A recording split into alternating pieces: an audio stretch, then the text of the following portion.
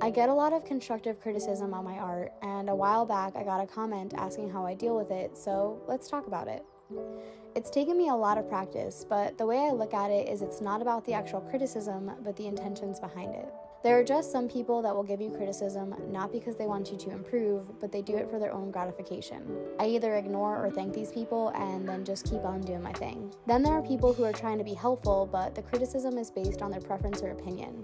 This type of feedback can be super helpful or not, so I thank them and then I take their feedback and only incorporate it if it aligns with my goals. And then there are the people who truly want you to improve. This feedback can sometimes be the hardest to take because you have to admit your faults, but it is also the most rewarding. When I'm lucky enough to get this type of feedback, I thank them and then incorporate it if it aligns with my goals. At the end of the day, if I ever find myself getting dragged down by criticism, I just remind myself that I make art because it makes me happy. And as long as I like it, that is all that matters.